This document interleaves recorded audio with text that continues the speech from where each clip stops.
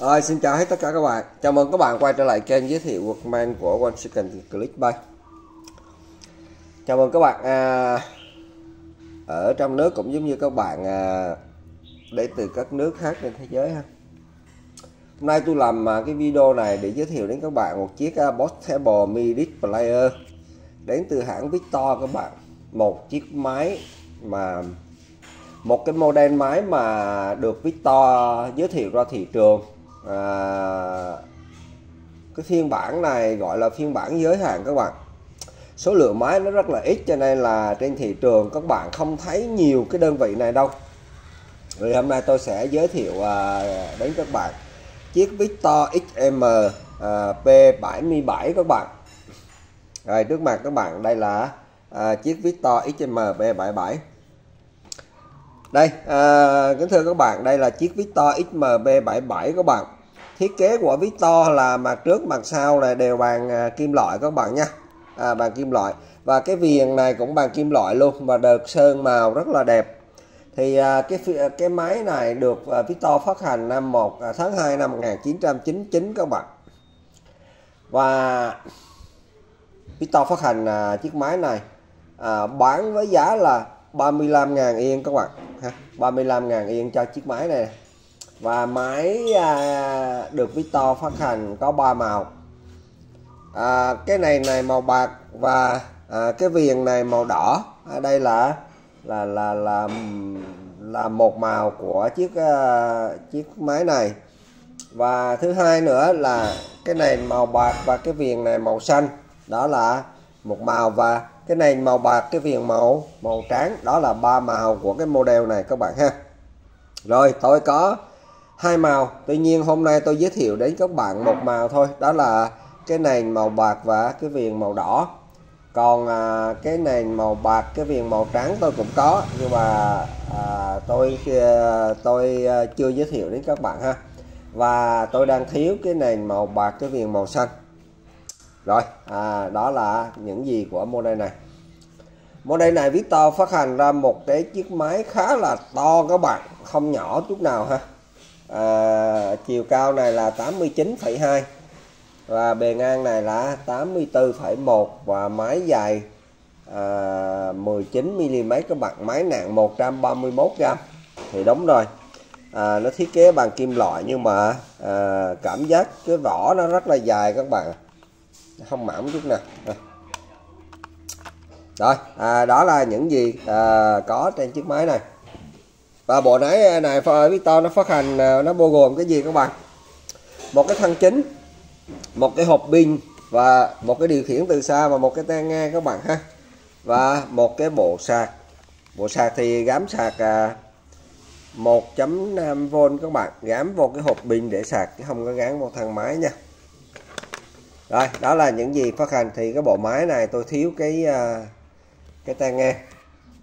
Rồi thiết kế của nó thì à, mặt trước này à, ở đây nó có logo mini disc nhỏ ở chỗ góc này. Ở đây là à, biểu tượng à, stainless. Và dưới dưới này là Boxable Midi Player XMP77 chỗ này được khắc chìm các bạn. Khắc chìm khắc rất là đẹp nha không phải sơn nha các bạn khắc trên cái kim loại này luôn. Và ở đây có logo Victor và được khắc chìm luôn nha bạn. Và ở đây có biểu, biểu tượng hai con sư tử hôn nhau ha. Đó biểu tượng của Victor. À, đó mặt trên mặt dưới thì nó không có gì mặt bên này thì đây là vị trí mở nắp bỏ đĩa các bạn. Đây đây mở nắp bỏ đĩa như thế này đây. Và ừ, con mắt đọc khá là lớn và khá là cổ. Rồi phía trên này Victor bố trí các uh, bàn phím và uh, vị trí đây là gắn điều khiển từ xa. À, ở đây là nét bài ở đây lùi bài ở đây play tạm dừng tắt máy và ở đây volume tăng giảm âm lượng. Bên này thì à, đây là vị trí bỏ pin NIMH các bạn. Rồi và ở đây là à, vị trí để gắn cái tắp lô là cái hộp pin các bạn rồi cái mặt sau. Mặt sau có một cái nút hôn nè. Và Victor in. Mà chiếc máy này Victor in rất là đẹp các bạn. In cái chữ sắc nét lắm. Ở đây là à, uh, XMP77 à, ký hiệu của chữ R là ký hiệu của chữ red các bạn. Tức là màu đỏ. Portable Mini Player. Ở đây nó viết bằng hai thứ tiếng. Phía trên là tiếng Anh và phía dưới là tiếng Nhật. Và đây là Victor Company of Japan Limited Made in Japan. Đây là bản phiên bản giới hạn của à, của cái model này ha. Model này hầu như Victor ra phiên bản nào cũng giới hạn hết các bạn. Thấy à, số lượng nó bán ra thị trường rất là ít. Rồi à, tôi tôi rất tiếc các bạn tôi có hai chiếc máy như thế này. Một chiếc màu xanh một chiếc màu đỏ nhưng mà rất tiếc là à, mắt đạp của nó chết hết rồi các bạn.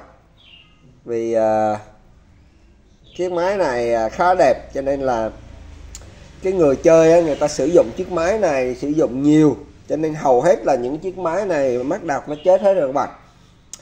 Thì à, tôi mua hai cái nhưng mà hai cái đều chết mắt hết không có chiếc nào đạp để nghe thử chiếc máy như thế nào một chiếc máy khá hiếm. Và đây cái khiển của nó đây khiển của nó này đây là cái màn hình của điều khiển từ xa. À, ở đây có nút điều chỉnh AC bass ở đây là có nút play à, tạm dừng và à, lát máy. Và cái nút này là cái nút này nét bài lùi bài các bạn. Và à, nó cũng đồng thời là nút volume luôn các bạn. Tăng volume và giảm volume ha.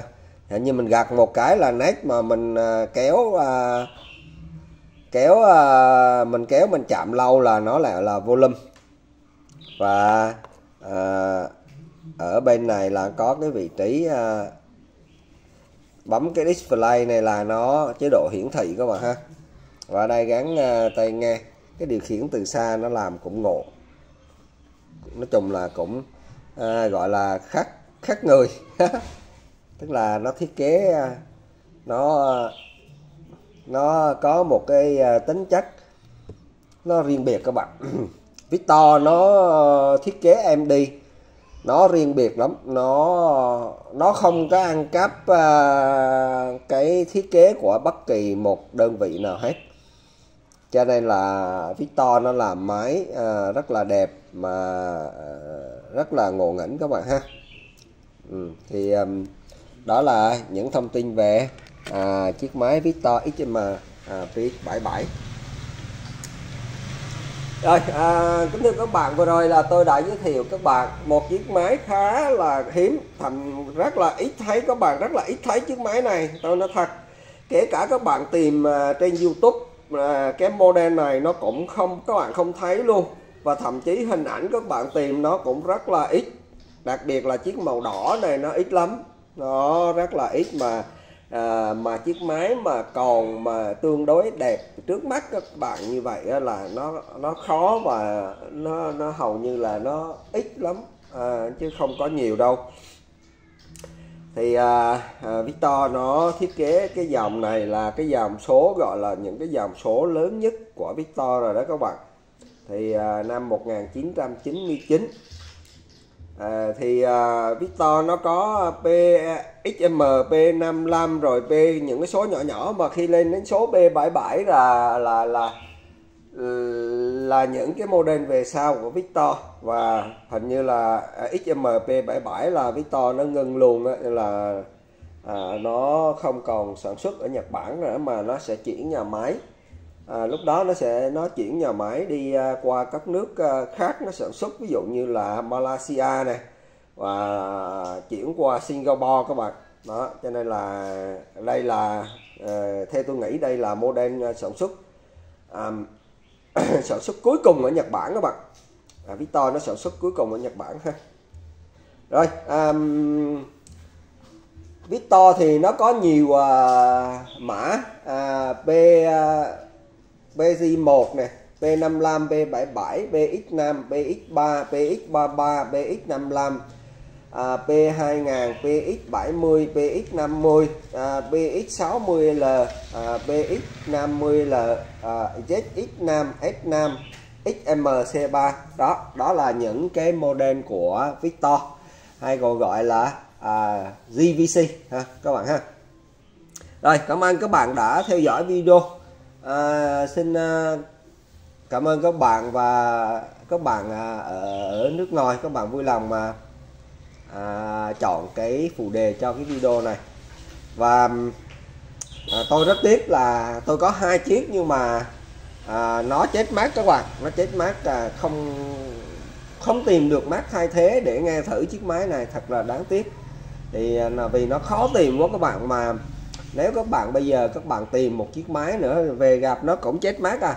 Và không biết cái laser của của của, của cái mắt đọc này nó nó nó có vấn đề gì không mà hầu như tôi thấy tất cả tất cả những chiếc máy mà XM B77 tôi đem về chết mát hết các bạn. Rồi cảm ơn các bạn đã theo dõi video. Xin chào các bạn và xin hẹn các bạn à, ở các video sau.